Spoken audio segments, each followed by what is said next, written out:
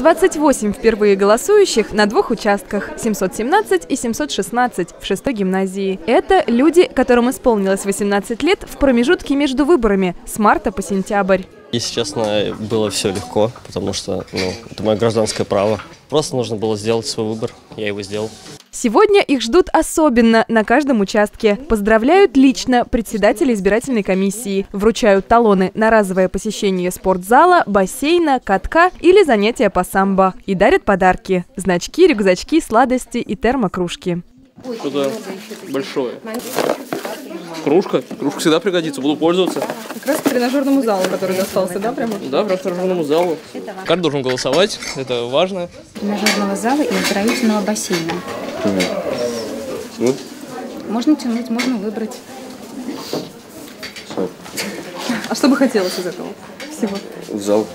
Первый раз хотел попробовать. Ну как, понравилось? Легко? Легко. На избирательные участки приходят целыми семьями. Гражданскую ответственность прививают с самых ранних лет.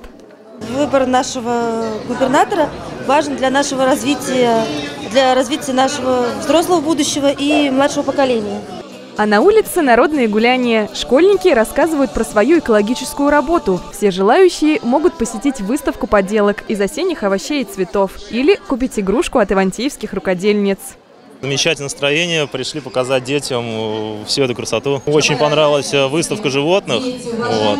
ну и поделки очень интересные, с капустой там сделаны. Во флешмобе на песню про Подмосковье принимают участие все – избиратели и их дети, школьники и их родители, прохожие и даже директор шестой гимназии Галина Лобанова. На выборы губернатора как на праздник. Раз, два, три, четыре. Правой, мои. Левый, покрутились.